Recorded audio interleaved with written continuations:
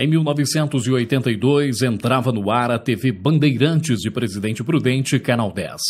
Os anos iniciais de atividade da emissora que leva o nome da cidade foram de muito trabalho e dedicação. Os primeiros passos foram a implantação e instalação de antenas receptoras em dezenas de municípios do interior paulista.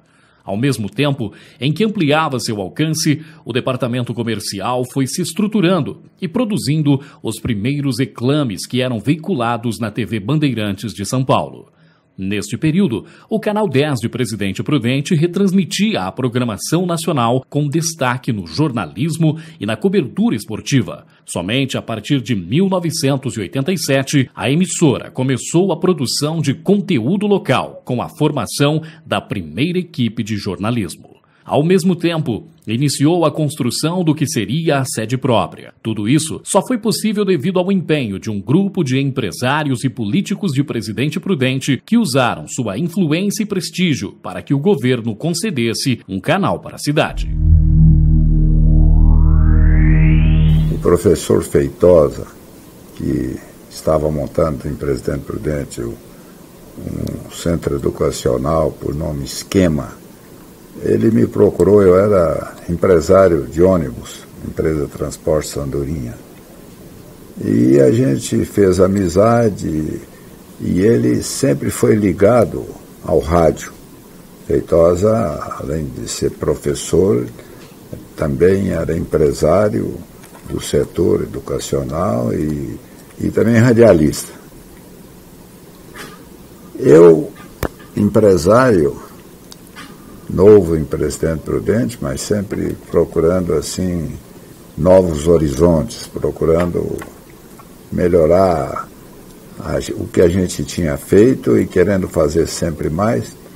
E os encontros com o professor Feitosa foram proveitosos, porque também é, eu comecei lá quando, com meus 15 anos, 16 anos, eu fui radialista, daquele tempo de rádiozinha de interior, em patrocínio, minha terra lá em Minas Gerais.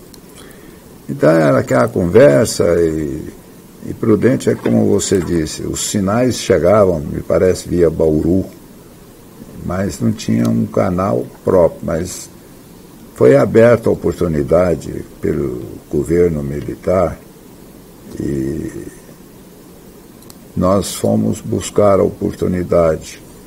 Para isso, nós precisamos formar, tivemos que formar um grupo em que participou a empresa de transporte Sandorinha, onde era representado por mim, pelo Walter Lemes, e também pessoas é, do meio empresarial presidente, o Antero Moreira França, Nestor Madeiral, e formamos o nome denominado de empresa é, de televisão Andorinha. Sabíamos que não era fácil, mas fomos em frente, participamos, fomos até agraciados de que havia, haveria possibilidade da gente montar a empresa em Presidente Prudente, disputando com outros interessados no assunto. E aí nós constituímos a Andorinha Rádio e Televisão, Sociedade Anônima, que foi uma empresa voltada para poder se habilitar junto ao Dentel, no Ministério das Comunicações. Na linguagem da telecomunicação, nós chamamos isso de provocação de abertura de edital, e assim foi feito. A nossa ideia, eu acho que foi boa. Provoca... Nós provocamos a vinda de um canal para cá. Constituída a empresa, Contratamos um escritório de planejamento na área de telecomunicações. Era o senhor César à época, não me lembro o sobrenome dele. E ele formatou o projeto, o projeto de concessão. Nós já tínhamos a empresa constituída e com isso nós entramos junto ao Ministério das Comunicações, especificamente no Dentel, e, e entramos para a provocação, ou seja, é, solicitar que o Ministério abrisse um edital tá, para a concorrência, para a licitação do canal 10 de, de Presidente Prudente, que ele já existia, ele já estava no plano de distribuição de canais.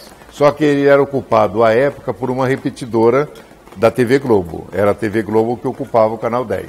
E com isso, então, em 1978, ou seja, a empresa foi constituída em 1976 e dois anos depois que saiu o edital 3478 e aí saiu para o mercado abrindo para todas as partes interessadas do país. É, os interessados se apresentavam, apresentavam projetos técnicos, projetos de conteúdo, projetos econômicos, estudo ia para o Ministério das Comunicações e o Ministério das Comunicações fazia uma análise estratégica e acabava decidindo quem seriam os finalistas. Primeiro você tinha uma série de eliminações por falha de documentação, falha de projeto, falha de cobertura, falha disso, falha daquilo. Com isso você já eliminava muito aventureiro. Então acabavam ficando só os profissionais da área. E, e depois disso tomava-se a decisão. A Bandeirantes era quem estava formando a sua rede naquele momento. Então, quem tinha mais necessidade de crescer era a Bandeirantes. Enfrentar as redes de televisão não é tarefa pequena, não. Mas nós sabíamos eh, da luta, sabíamos também de alguns dispositivos de relacionamento que nós tínhamos, especialmente na área política, através dos sócios da Andorinha Rádio e Televisão, que éramos eu, Paulo Constantino, Walter Leme Soares, ex-prefeito de Presidente Prudente, e o Anteiro Moreira França. Então, o Walter e o Paulo tinham muito relacionamento político e especialmente no governo do Estado. Muito bem, quem é que apareceu? Nós esperávamos, no mínimo, duas grandes redes e elas apareceram. A Rede Record, à época, tinha como sócios a família Paulo Machado de Carvalho e Silvio Santos. A Rede Bandeirantes de Televisão, à época, TV Bandeirantes de Televisão com a família Sr. João Saad e os filhos. E duas empresas nas, nasceram aqui em Presidente Prudente. A Andorinha Rádio e Televisão e uma que foi formada, que foi a TV Comercial, especialmente para concorrer a este canal de televisão. E o governador Paulo Maluf oficiou ao Ministério de Telecomunicações, né, dizendo do grupo que pretendia instalar uma, uma estação de televisão Presidente Prudente, do qual o governo tinha interesse né, para a expansão da, da televisão no interior. Prudente era uma cidade na época, então, já com 75, 74 mil habitantes, né? E nós entendíamos que um sinal, um canal de televisão em Presidente Prudente atenderia toda a região, a nossa região aqui, a décima região. Então, nós solicitamos que fosse autorizado um canal de televisão para Presidente Prudente, um canal próprio. Isto teve acolhida, o pedido do, do, do governador teve acolhida no Ministério da, da Comunicação, né? E surgiu aí uma conversa entre o João Saad, que era diretor da Bandeirantes em, em, São Paulo, e o Paulo Constantino. O João Saad era um grande empresário. A família dele deu seguimento no ramo. Eles são vendedores de ônibus, de, de veículos, caminhões e ônibus Mercedes-Benz. Eu era empresário de transporte público, precisava de comprar ônibus.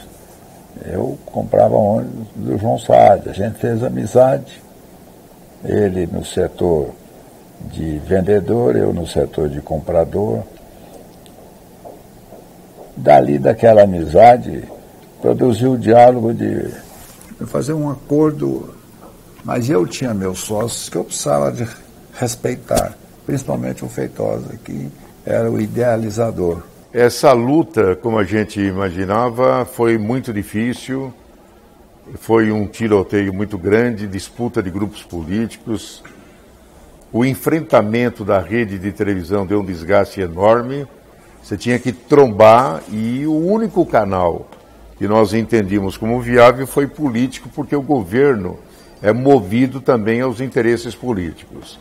Nós estávamos em 1976, 77, 78, quando nós tivemos a abertura do edital, a época do governo Ernesto Geisel. Era ministro das comunicações, um excelente ministro, um homem íntegro, muito correto, que foi o ministro Euclides Conde de Oliveira, que vinha da aeronáutica. E tamanha disputa e o poder dos grupos, né, que o ministro se sentiu tão assediado, tão pressionado, que um dia ele nos chamou lá e disse: Olha, eu não vou assinar essa concessão, não. Terminar o mandato, vou passar isso para o outro ministro. É muita briga, é muita disputa, e isso aí eu vou passar para o governo João Batista Figueiredo. E assim aconteceu. Ele não assinou, tá? Passou para o governo próximo que sucedeu Ernesto Gás, que foi João Batista Figueiredo, e aí entrou o ministro Haroldo Correia de Matos, né? Foi aonde ele fez as gestões, ele, entabulou, ele retomou o processo por solicitação nossa e das outros concorrentes, e ele sentiu o mesmo quadro de dificuldade. Grupos políticos muito fortes e redes poderosas, porque a força política local, ela também tinha sua influência, não resta a menor dúvida. E o que, que aconteceu?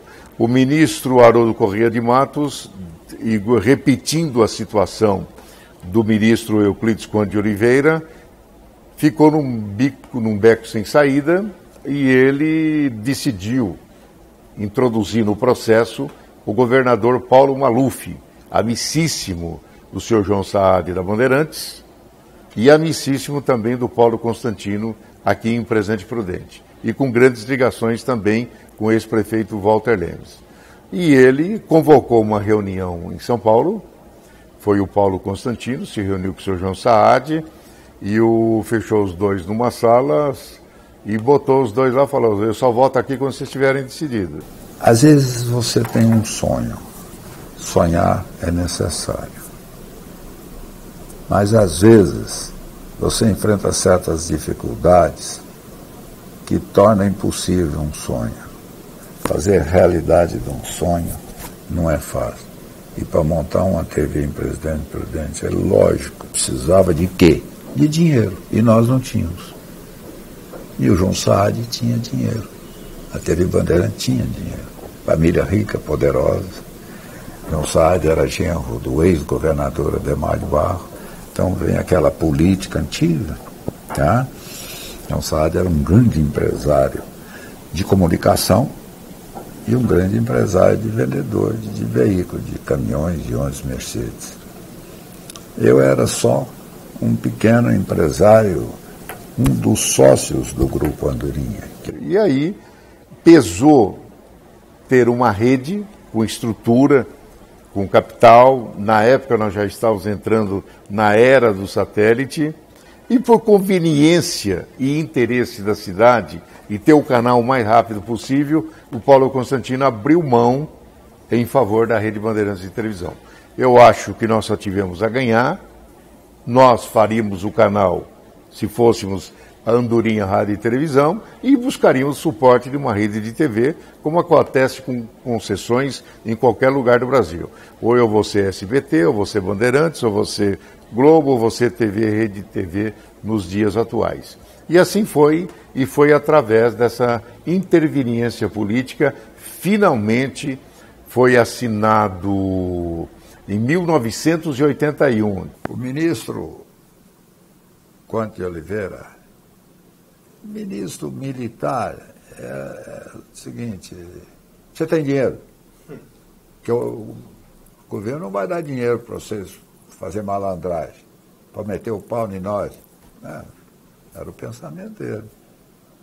Nós não tínhamos dinheiro, ele também não tinha, não ia dar. E outra, eles queriam diminuir é, o tanto que a imprensa estava pegando no pé deles. Mais ou menos igual a presidente Taú, está vendo para se ver livre da, da imprensa, né? A imprensa é útil no mundo inteiro.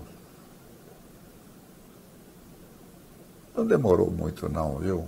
dois, três anos, quatro anos para você implantar um sonho de montar um canal de televisão igual nós fizemos, não nosso, porque nós acabamos sede, nós abrimos mão.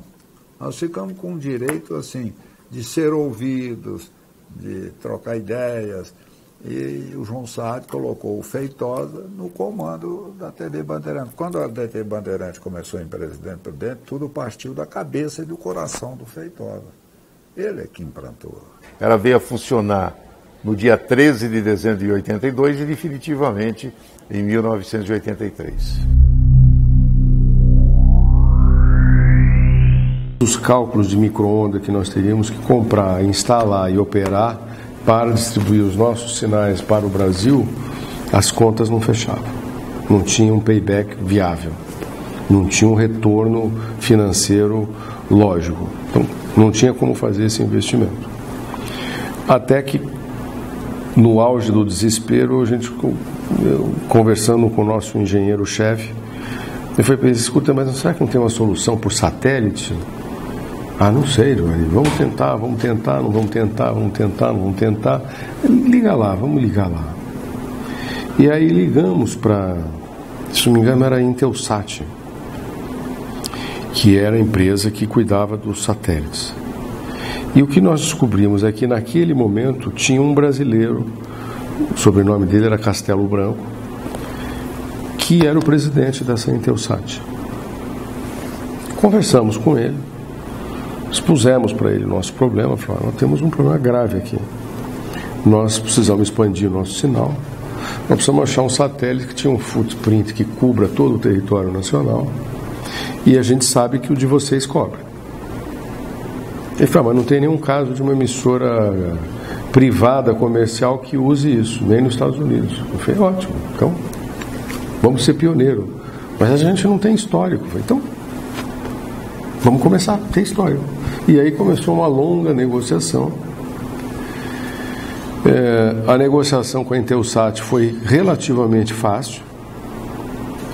Chegamos num acordo, aí entrou o governo, através, na época, da Embratel. A Embratel era pública. E aí todas as dificuldades foram postas. Óbvio que tinham interesses políticos também que não queriam que a Bandeirantes se formasse como rede. Então todos os obstáculos foram colocados ali. Ah, e, e, as discussões eram intermináveis porque eles queriam nos taxar uh, por cada localidade que fosse agregada. Eu falei, não, eu estou pagando um satélite que cobre o Brasil. Se eu pago um satélite que cobre o Brasil, tanto faz se eu vou ter uma antena recebendo, duas, dez, vinte mil, dez mil. Não muda em nada eu tenho que pagar o custo da subida do sinal e o custo do satélite refletir este sinal, que é assim que funciona o satélite. Ele é um, ele é um espelho, não é isso? É um estrelo que tem um, ele faz um, um giro junto com a Terra. Porque senão esse sinal seria perdido. Isso foram. Nós gastamos quase um ano com esse bate-boca imbecil que também, obviamente, nos atrasou. Então, quando nós conseguimos abrir essa coisa, nós somos a primeira a usar o Planeta, uma, uma empresa privada de, de comunicação, de televisão, a primeira a usar 24 horas. E com isso a gente fez uma seguinte regra aqui dentro: quem pedir nosso sinal, nós vamos autorizar. Estava baseado no quê? Bom, se ele estiver pedindo é porque o sinal da cidade dele é ruim. Então nós, a gente assinava toda semana pilhas de autorizações. Por isso que a Bandeirantes tem até hoje uma malha de distribuição descomunal. Em qualquer buraco que você imaginar, tem lá uma anteninha que alguém colocou ao longo desses anos, dessas décadas, para suprir. Ou porque a emissora local não conseguiu levar o seu sinal até ali, ou porque tinha dificuldades de, de chegar ao sinal. Aliás, dificuldades que se tem até hoje mesmo. Tem muito lugar aí que não tem, não tem sinal. Você chega por satélite ou não chega. A Rede Bandeirantes, sob a liderança do Dr. Miguel Cipolla, que era o diretor de engenharia da rede, começou a importar os equipamentos. Muitos vinham de navio E, foi, e esses equipamentos foram chegando, foram desembarcando e foram vindo e a estação foi sendo montada, tá certo? E enquanto esse processo acontecia, no âmbito da nossa atuação enquanto diretor regional, nós cuidamos de montar a chamada RB2. RB2 é equivalente ao SP2 da Globo, ou seja, o Estado de São Paulo dividido em duas partes. RB1, pegando a grande São Paulo, né, todas as áreas mais próximas, Sorocaba e Companhia Limitada, e o RB2 divide São Paulo ao meio. Então, nós andamos aí, andamos por Araraquara, Ribeirão Preto, Araçatuba, São José do Rio Preto e fomos montando essas estações retransmissoras. Na época em que eu deixei a rede, nós já estávamos com as retransmissoras todas montadas e o canal ainda sendo estruturado como emissora que passaria a produzir conteúdo, conteúdo local. Na época, onde é hoje a emissora, é, lá só tinha a parabólica, onde recebia o sinal via satélite da Bandeirantes de São Paulo, certo? E depois na, lá no mesmo local onde tinha o transmissor lá e tinha o micro-ondas onde a gente mandava, enviava o sinal para o prédio aqui no centro, em frente à catedral, onde ficava o transmissor. Entendeu? Então de lá, então a gente fazia o corte. Eu recebia o sinal via parabólica, certo? Eu jogava lá dentro, transmitia, jogava via micro-ondas para o prédio do, no centro da cidade e lá transmitia, entendeu? Para a região toda. A TV Bandeirantes, com o advento do satélite, começou a produzir comerciais que eram veiculados para diversos lugares do país. Como era nacional e o canal Presidente Prudente a propagação de imagem era replicada pela Embratel daqui, consequentemente essa imagem ela, não, ela acabava irradiando sinais para o resto do país especialmente Mato Grosso e região amazônica. Então a TV Bandeirante de estava presente aqui no Mato Grosso, na região amazônica, Belém, e nós recebíamos esse feedback de toda essa região centro-oeste e norte da Amazônia. Eu coloquei para vocês um episódio de um comercial da Casa das Louças, do senhor Fortunato, e o senhor José Fortunato, que tocava na banda de Presidente Prudente, era o grande maestro citadino.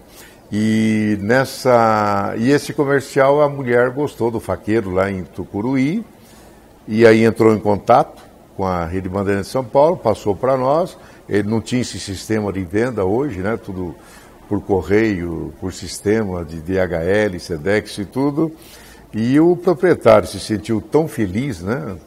Tão contente, porque isso orgulhava o Prudentino. E você tem vaidade local, isso mexe com orgulho do pessoal da cidade e ele não teve dúvida em pacotar um faqueiro e mandar para essa telespectadora.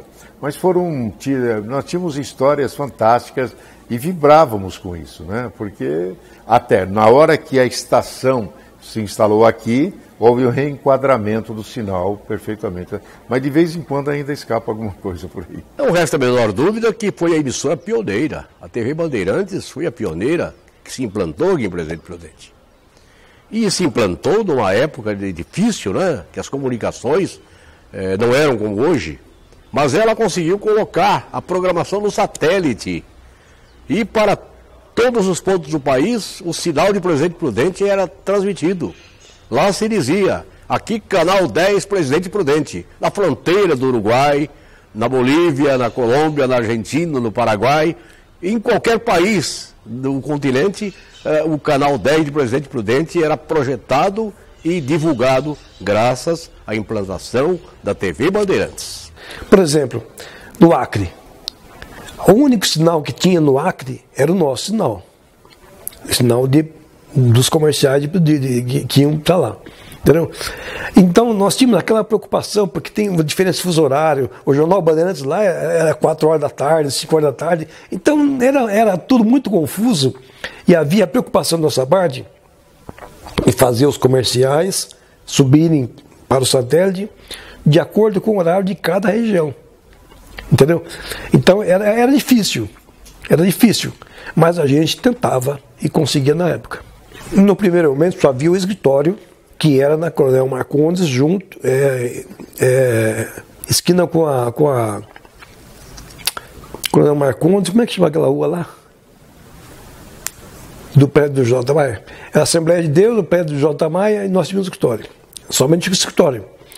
Ali trabalhavam algumas pessoas. Depois, aí foi crescendo, foi crescendo a vontade, foi crescendo a emissora.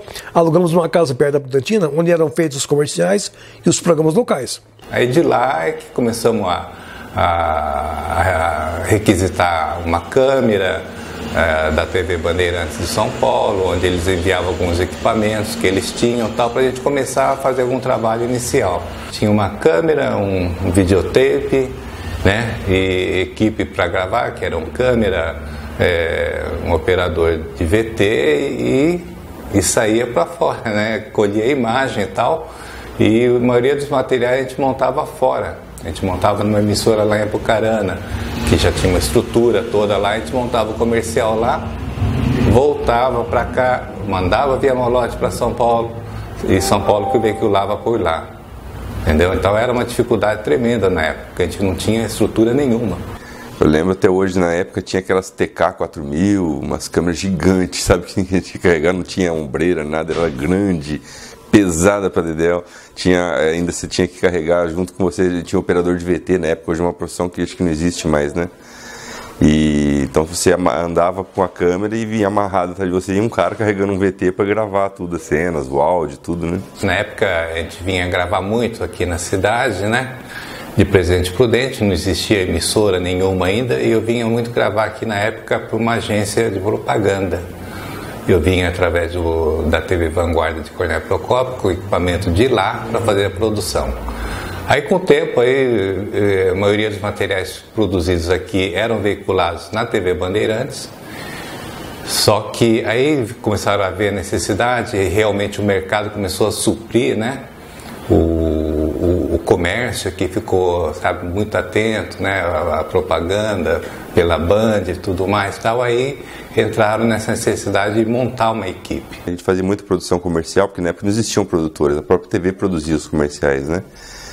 E trabalhava junto com o Pércio Mini, Vanderlei Bover, os meus chefes, que mandavam na produção e eu fazia as imagens externas. Então a pessoa contratava a TV para fazer o comercial, a gente ia lá, gravava um estabelecimento, ou fazia um desfile, alguma coisa, montava todas as imagens, depois eles iam editavam, é a própria TV que produzia tudo. Foi uma experiência sensacional. Para você ter uma noção, naquela época, para se produzir um comercial, você precisaria ter o quê? É, dois câmeras no estúdio, você precisaria ter um cara, no, uma pessoa na mesa de cortes, teria que ter um editor, você teria que ter um sonoplasta. Todo esse pessoal aí efetivo para se gravar um comercial. Material para editar tudo mais, tal assim e mais o tempo que você leva também para produzir. A cidade estava, como sempre esteve, em franco desenvolvimento. E apenas um canal que chegava não era suficiente. O público queria mais. Queria programação, queria notícia, informação, orientação, a cobertura dos eventos principais. E a Bandeirantes fez esse papel, transmitir aquilo que o público queria ver. Criamos inúmeros programas, levamos excelentes valores, muitos talentos que se revelaram aqui no decorrer dos anos, muitos deles aprenderam e estão hoje atuando no jornalismo brasileiro, graças a esse empenho do Itadir Pereira com a minha participação.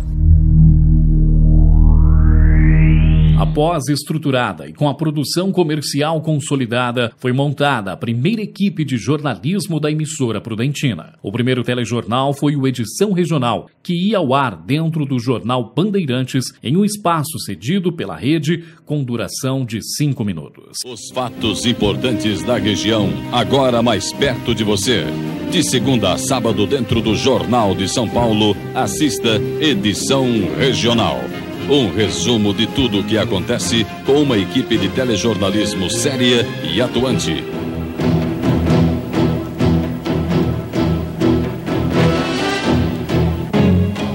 Edição Regional. Diariamente de segunda a sábado no Jornal de São Paulo. De interessante na época é tudo interessante porque da forma que era feito o jornalismo, se, se a gente se comparasse ver nos dias de hoje, realmente era como se se existe o fogão a gás hoje, na época a gente fazia na base da lenha, entendeu? Era tudo feito assim na, na garra mesmo, com muito profissionalismo, né? Em 1987 foi implantado o jornalismo da TV Bandeirantes Presidente Prudente pelo Itanir comigo na chefia do jornalismo. E aí desenvolvemos um trabalho que durou oito anos. Pelo espaço de oito anos, nós produzimos telejornais, cobrimos os maiores acontecimentos, não só da região, mas da maior parte do estado de São Paulo. Porque o sinal da Bandeirantes cobre uma extensa área que representa praticamente dois terços do estado. E era comum, nós saímos daqui com uma pauta para ser cumprida em Araraquara, ou Ribeirão Preto, ou Piracicaba, ou Fernandópolis, ou Jales, ou São José do Rio Preto, Araçatuba, e esporadicamente até Mato Grosso e o Paraná. Nós saímos de manhã e retornávamos na madrugada seguinte, muitas vezes trazendo três, quatro, cinco, dez matérias e até 15 matérias, como eu consegui essa proeza num só dia. Então o telejornalismo era bastante dinâmico. Foi por meados de 87, 88, é, porque nós é, fomos saímos daqui de, de Maringá para fazer a televisão. E era ela um escritório, só um escritório. Então, nós tínhamos primeiro que erguer o prédio, pegar alguns equipamentos para depois começar a fazer produção local, para depois começar a fazer jornalismo, coisa parecida. Então, é, o começo tudo foi quase que simultâneo. Ah, o encontro com o Altino Correia, é, com, com o Homero, com, com todo o pessoal, foi quase que simultâneo. Então, nós nos reunimos e resolvemos montar o jornalismo, montar a programação local e montar a televisão. Nós tínhamos o telejornal. O cinegrafista, o operador de VT, o repórter, é, o pauteiro, é, o redator-chefe, e assim saímos para buscar a matéria. A matéria era gravada, ia para a edição, só que no, na apresentação tinha um problema. O estúdio não, não, não existia estúdio para o apresentador. Ele tinha as cabeças dos textos, dos, das notícias, das matérias programadas para chamar no momento. E na falta de um estúdio adequado, né, é, decidiram aproveitar um banheiro. O apresentador sentava é, no vaso sanitário, né, com uma tapadeira atrás, e ali ele fazia a chamada das matérias, não é? Chamava a matéria, a matéria já estava gravada, editada, então ele apenas chamava. Em Presidente Prudente está acontecendo uma grande festa e tal, e você vai conhecer detalhes com o repórter fulano de tal. Pá, entrava a matéria, né? Quando nós tínhamos o estúdio aqui, é, um estúdio improvisado, apenas para poder elaborar as matérias, é, o motorista tinha a missão de levar a fita já editada, pronta para ser exibida. Então ele saía faltando 10 minutos para o jornal. Saía com o carro a 120 por hora. Atravessava a cidade como se fosse uma bala, não é? Para chegar em tempo de colocar a fita, programar e entrar logo na chamada. Muitas vezes ele correu risco, né? E chegamos até a receber uma advertência é melhor vocês terem cuidado, se a qualquer hora vocês vão virar notícia. Com a velocidade no carro, a pressa, né? Para entregar a fita a fim de ser exibida. Graças a Deus, eu estou aqui com você hoje, eu agradeço muito a Deus, porque a gente andava 150, 160 por hora numa estrada, é, às vezes à noite, era uma coisa de louco. Né? Tinha, tinha, tinha, tinha suas, suas vantagens, e eu, aliás, eu não vou falar para você desvantagem, eu nunca tive desvantagem com isso. Pelo contrário, às vezes a gente parava, tinha uma roça de melancia no caminho, entendeu? Eu comia uma melancia porque estava com fome, não dava tempo de comer, umas coisas desse nível, mas era muito legal, muito bom. A estrutura física da, da, da TV Bandeirantes de Presidente Prudente, quando eu entrei em 1987, era totalmente é, diferente da de hoje. Começando pelo prédio, né, que eh, ainda não existia, esse prédio que hoje tem aqui no Jardim Planalto não existia. Na época eram divididos em três, em três estabelecimentos, que era o escritório, é, a produção e a exibição, que era aqui nesse local, mas ainda não existia o prédio. A produção era feita lá perto da Ápia, né? A produção comercial, o jornal, tudo editado lá na Ápia. O escritório era ali onde é que é, onde foi o J. Maia, né? Eu não sei o nome daquele prédio. E a exibição era aqui, né? na, na, naquela época. E era tudo assim, tudo com fitas de uma TIC. É uma fita grande. É, é, e a, a, como a exibição era aqui, o pessoal produzia ela lá na, na Ápia. E seis horas da tarde, horário de pico, eles vinham trazer para a gente exibir o jornal. Então, às vezes, não tinha tempo suficiente é, para chegar aqui. Então, eles chegavam já, às vezes, nem abriu o portão, jogavam por cima do portão e a gente exibia o material aqui no, pela exibição. Era tudo assim, era tudo assim. É, nós fazíamos as, as, produções locais, deixávamos tudo certinho. São Paulo nos passava os horários que íamos entrar é, no local, entendeu? Nós pegávamos o carro e corríamos no transmissor. Então, no horário local, ele injetava a, a transmissão local. Luiz Augusto, que era o apresentador, que na época, né, assim, pela situação de não ter teleprompter, não ter nada, né? Ele foi um dos apresentadores muito bem assim, é, vamos dizer assim, avaliado, né? Porque ele fez realmente um bom trabalho para a época que não se tinha nada assim de recursos né, mais avançados. Naquela época a gente não tinha o telepronto, né? Então nós tínhamos que ler necessariamente, forçosamente no papel, né? Ah, tinha que ler ali. E era dessa forma. Mas a gente acabava acostumando e, e dominava bem, né? É, mais para frente, já depois de muitos anos, é que foi criado um telepronto que começou a facilitar as coisas. Inclusive o estúdio que a gente começou a gravar, lá na Coronel Marcondes, ele era feito com sacos de estopa e caixa de ovos. É, aparentemente assim uma coisa, né, assim deprimente, né? Mas é, profissionalmente ele dá um bom efeito, né? Que é o que interessava, né? Essa é uma das precariedades também. É, ao passarmos aqui para o Jardim Santana, o prédio em construção, a gente ia mudando de sala, de, de ambientes. A gente começava num ambiente, aí a, a obra chegava ali, a gente tinha que passar para outro e ia fazendo as adaptações. Enquanto fazíamos o prédio, nós improvisávamos tudo através de cenários, porque a televisão é chapada, a televisão é tudo cenário, certo? É, como ninguém vê o que está por trás, nós fazíamos dentro do banheiro o jornalismo.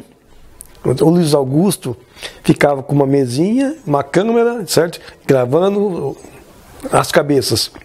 Depois nós pegávamos as cabeças e juntávamos com a programação editada na, na, na, nas casas que nós alugávamos. Depois então injetávamos no, no transmissor. Era tudo feito de maneira. Era vontade de fazer. Isso era fundamental, era vontade de fazer. Entendeu? Porque não tinha condição. Nós fazíamos. E, inclusive, uma coisa curiosa foi que a gente chegou a fazer o, o telejornal no, no espaço de um sanitário, né? que é o que acomodava melhor. Então, foi feito ali a, a vedação acústica né? de uma forma precária, colocado o logotipo do jornal e o jornal foi gravado ali muitos dias, acho que até meses, até que o estúdio ficasse pronto. Inclusive a apresentação do primeiro jornal nosso, ao vivo, foi dentro de um banheiro, improvisado, né? É, não tinha nem o, o, o, o, o piso dele ainda colocado, e a gente acrescentou com, com, com estofado, enfim, para abafar o som, né? E o primeiro jornal foi exibido ali. E a câmera ficava aí onde é que vocês estão posicionados. E o apresentador ficava aqui, assim. Aqui apresentando o jornal. Nessa altura, pegava um, um plano aqui, meio americano, meio 3x4, e ele apresentava o jornal daqui, ao vivo. Então foi o primeiro é, jornal ao vivo da TV Bandeirantes Presidente Prudente, transmitido por esse banheiro aqui. Essa é uma curiosidade interessante que o telespectador nem imagina onde que a gente estava gravando, né? Assim como em toda a rede, o esporte também estava inserido na TV Bandeirantes de Presidente Prudente. Um quadro chamado Momento do Esporte ia ao ar dentro do telejornal Edição Regional. Além disso, também havia um programa de mesa redonda que contava com personagens da crônica esportiva prudentina, boa parte deles vindos do rádio, como Lero Ferreira e Guilherme César. E eu fazia, apresentava esse programa de esportes, fazia mesa redonda, com vários cronistas esportivos da cidade, entre eles o saudoso Wilson Mata, é, o Merinaldo Orlandino, enfim, vários, vários, vários que eu for citar, o, o, o, Carlos Lima, quer dizer, e jogadores do então Corinthians e Presidente Prudente também participavam junto com a gente, quando o treinador, é, o treinador também que era o saudoso Toninho, você vê que tem muita gente que já foi, porque é uma coisa que né, o tempo vai vai levando e não tem jeito da gente ficar para a raiz, né? Você sabe como é que é. Mas é uma época boa, boa mesmo. Era tudo muito romântico na época, entendeu? E nós fazíamos aí com amor, com satisfação. Era o Homero, o, o, eu, o, o, Guilherme César, é, o Semensati, o Sérgio Jorge, todo mundo fazia o possível para fazer a transmissão o melhor possível. E era uma correria, porque Nossa você primeiro tempo, corria com a fita para levar e tal. Era uma guerra. Era uma guerra. Basicamente o que se falava nessa época era, era Corinthians de Prudente. Tinha basquete, né? Tinha basquete. A Paula ainda jogava basquete na época, não aqui em Prudente. A Hortência jogava, então elas estavam sempre para a região jogando, a gente ia acompanhar. Mas então era isso, era tudo feito assim, muito na correria, muito no improviso. Não tinha recurso. Ah, Usava-se muito o Matic na época, que é uma fita desse tamanho, para quem não conhece, né? grossa, você está por dentro, lógico.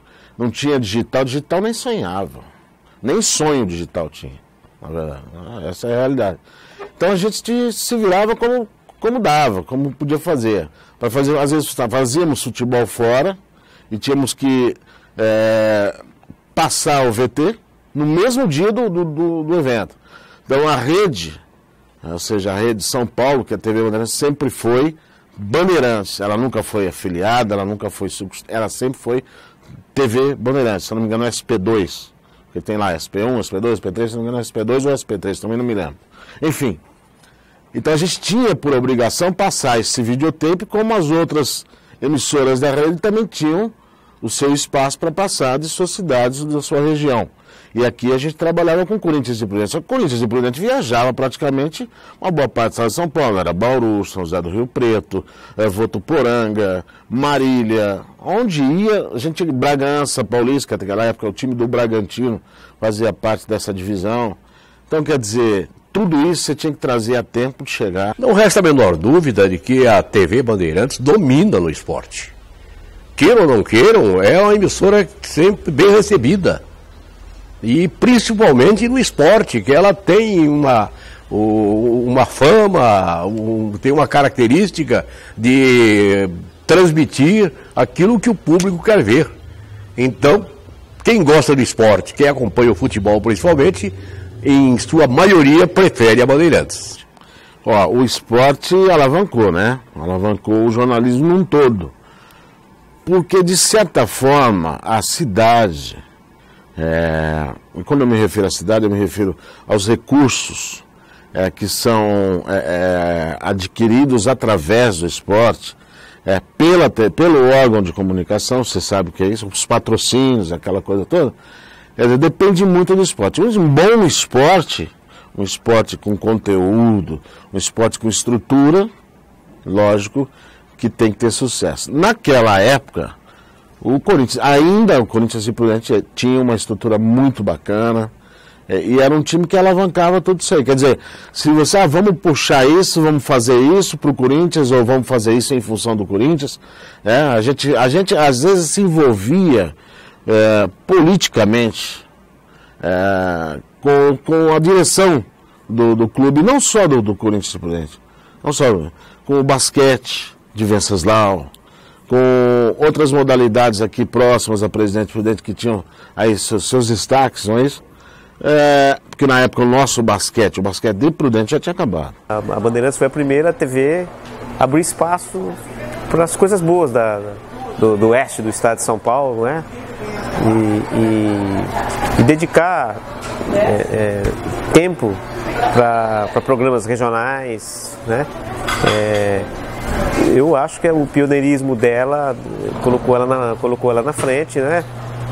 E, e, e ela ocupou um espaço que, que eu acho que ninguém tira. Enquanto o jornalismo ganhava espaço e desbravava o Oeste Paulista, o prédio ainda estava em construção. Enfim, em 28 de junho de 1991, foi inaugurada a sede própria que coroou o período inicial da TV Bandeirantes de Presidente Prudente, trazendo uma nova era para o telejornalismo da região. Uma grande festa foi realizada, com a presença do então presidente do Grupo Bandeirantes, João Jorge Saad, que na ocasião recebeu o título de cidadão prudentino na Câmara Municipal. A inauguração da sede trouxe emoção e satisfação para aqueles que fizeram parte dessa história. Era quase tudo a base de permuta. É, nós perguntávamos o concreto, com o seu, com o seu, chamo o seu Rodrigues, perguntava o concreto, o concreto estava a prefeitura, a prefeitura fazia uma parte, é, perguntávamos é, com comerciais no, no, no, comércio local as ferragens e, e, e por afora. Pagávamos somente aquilo que era mão de obra, que não tinha como escapar. Não, o prédio em si levou muitos anos, porque nós vimos construindo ele aos poucos, fazendo produção local, fazendo jornalismo, construindo prédio, fazendo local, quer dizer, foi tudo simultaneamente. O prédio demorou bastante. Porque a construção dele levou mais ou menos uns 4 ou 5 anos de construção. É, foi em 1991, com a presença do nosso ilustre saudoso Jorge Saad, que foi é, quem montou a emissora é, da Band de São Paulo, né? E ele esteve aqui, foi uma honra ter, ter, ter, o prazer de conhecer ele. Também veio o filho dele, o Johnny. Veio, é, veio várias pessoas de lá de São Paulo, é, é, pessoas que hoje ocupam cargos importantes. Na época também ocupavam, mas hoje mais importantes ainda. E a gente teve o prazer de conhecê-los pessoalmente. Foi uma festa grande aqui, transmissão, tudo. Foi uma transmissão é, não, não, chegou a ser transmitido totalmente ao vivo. Né? Não foi totalmente ao vivo, mas durante a programação a gente exibia flashes é, é do que estava acontecendo aqui ao vivo. Nossa, foi uma festa e tanto, assim, assim, foi a gente fez tudo ao vivo, foi uma coisa assim muito grande, porque assim foi uma coisa muito esperada, né? É, por nós funcionários e até sim por todo mundo, eu acho, né? Porque foi um prédio é, uma estrutura muito grande, muito bonita. É, e assim, foi construída bem assim na, na garra, sabe? E, mas assim, foi muito esperado por nós funcionários e acho que pela, pela população toda, porque a, a Band estava em tudo, né? Então só faltava isso, né? Ter uma, um prédio, uma estrutura, né? O holofote da Band de São Paulo também estava voltado para cá, quer dizer, o Saad estava presente e tal. O pessoal todo de São Paulo veio, os diretores vieram para cá. Foi muito bacana. A gente fez ao vivo, é, assim, tudo, né? É, tudo, tudo depois, tudo. A gente ficou muito tempo no ar ao vivo, é, mais do que o, o, o tempo do jornal. E quando menos se esperou, o prédio estava lá construído. O próprio Sr. João Saari, quando veio aqui para inaugurar e recebeu o título de cidadão prudentino em reconhecimento ao trabalho que ele efetivamente desenvolveu, se surpreendeu ao encontrar o prédio. Mas que prédio é esse? Quem é que construiu? Nós construímos e entregamos a TV Bandeirantes. O prédio está lá até hoje, a sede própria. Era uma das primeiras sedes de, de TV no interior do país. Muitos foram os desafios, mas depois de 33 anos, a TV Bandeirantes de Presidente Prudente conquistou seu espaço na história das comunicações do Oeste Paulista. Primeiro é um privilégio trabalhar num, num veículo de, de, imprensa como a TV Bandeirantes, né? A gente traz conosco a independência, né? É, é até legal, assim, porque as pessoas ligam aqui para passar algum tipo de matéria e eles falam, não, eu estou ligando na Band porque eu sei que vocês são independentes. Então isso é um reconhecimento de um trabalho que a gente faz sério e árduo, né? Todos os dias, com bastante credibilidade e tentando levar o que de fato acontece nas ruas da metade do estado de São Paulo né? A, a, nossa área de abrangência são mais de 300 municípios, são mais de 263 municípios, quase 300 municípios. Então é uma responsabilidade muito grande. A gente abrange as regiões de Araçatuba, Bauru, Marília, Prudente e São José do Rio Preto. Então a linguagem que a gente tem que falar, mesmo uma matéria sendo confeccionada em Presidente Prudente, é a linguagem que o interior inteiro quer quer saber, quer ouvir. Então, se eu faço uma matéria de dengue, por exemplo, de casos de dengue em Presidente Prudente, eu tenho que dar todos os casos da área de abrangência das principais cidades. Então, a gente tem que ter muito cuidado e a gente tem esse cuidado de mostrar o que realmente acontece todos os dias no interior paulista. E é um privilégio trabalhar num órgão de imprensa como esse, com uma área de cobertura tão grande como esta. Para ter a abrangência da Bandeirantes, a gente precisa de cinco emissoras de televisão é, para cobrir uma área que a Band Prudente cobre sozinha. Quando a gente fala na, na região de Presidente Prudente, na verdade a gente tem que tem que alargar muito mais esse horizonte, porque o, o jornalismo que é feito aqui, é, a gente também tem as equipes nas cidades de, em, em, regiões completamente diferentes, como São José do Rio Preto, Araçatuba, Marília, Bauru. Né? Então, na verdade, a gente tem um, um jornal, um jornalismo, uma programação com um jeito, um sotaque, uma, uma forma de fazer interiorana, eu diria assim, uh, desta tanto no jornalismo quanto no entretenimento, né? Então eu acho que a importância da TV Bandeirantes está em, em conhecer muito a região que ela atua, é, ela conhece os atores que dos diversos papéis e das diversas das diversas responsabilidades, né, públicos e privados desse, desse dessa imensa região, né? E a gente é capaz de traduzir isso não só para nossa a nossa abrangência dessa que eu acabei de citar, como também mandamos matérias para São Paulo as matérias relevantes do que acontece nessa região, né, que nos são solicitadas por eles ou são oferecidas por nós para eles em São Paulo, né? Então eu acho que essa é, é, é essa importância muito grande, né? O próprio canal Terra Viva, como a gente estava conversando antes, que tem uma um pé regional muito, muito grande, né? A primeira equipe de câmeras e cinegrafistas uh, do, do, do, canal Terra Viva, de, de, produção, ela saiu daqui, né? Foi trabalhar em São Paulo, é, enfim, é, dando, dando a cara e o jeito que o Terra Viva tem hoje, né? Então eu acho que a gente tem essa, tem essa capacidade de traduzir essa região toda, né? As suas fortalezas e as suas fraquezas e poder disso fazer uma interlocução e levar ao ar as coisas que, que interessam ao, ao público, enfim, em geral. Né? Eu falo que o jornalismo, ele você faz a mesma coisa todos os dias, você vem trabalhar todos os dias. Só que nenhum dia é igual ao outro.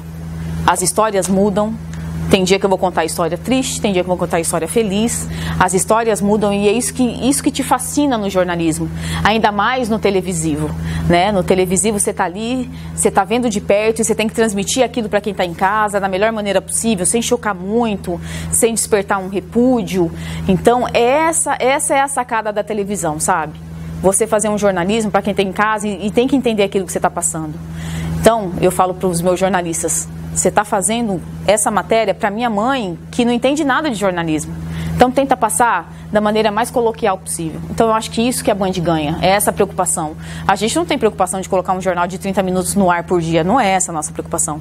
É como a gente vai colocar ele no ar e para quem.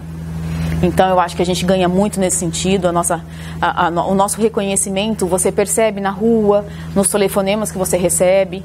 A Bandeirantes aqui ela está consolidada, eu desejo muitos, muitos e muitos anos de vida para a Band aqui.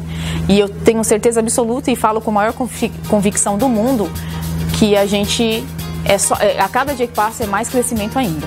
Eu, eu, vejo, eu vejo assim a Bandeirantes. A nossa ideia, eu acho que foi boa. provoca, nós provocamos a vinda de um canal para cá.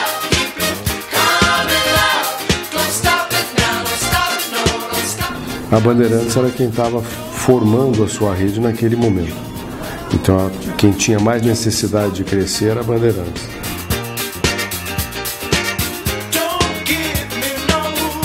Era vontade de fazer, entendeu? Porque não tinha condição.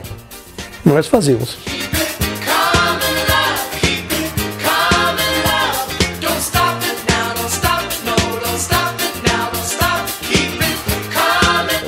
Enfrentar as redes de televisão não é tarefa pequena, não. Em Bandeirantes foi a pioneira se implantou aqui em Presidente Prudente.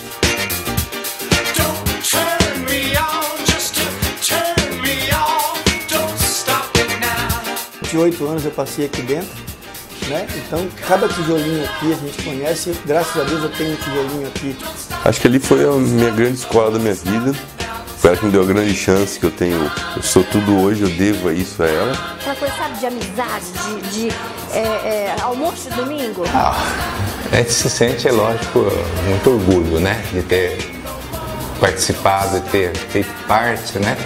Dessa, dessa família Bandeirantes aqui de Presidente Prudente, de onde tudo começou. Rapaz, é, esse sentimento é complicado. Não é bom passar muito não. Não chora, sabia?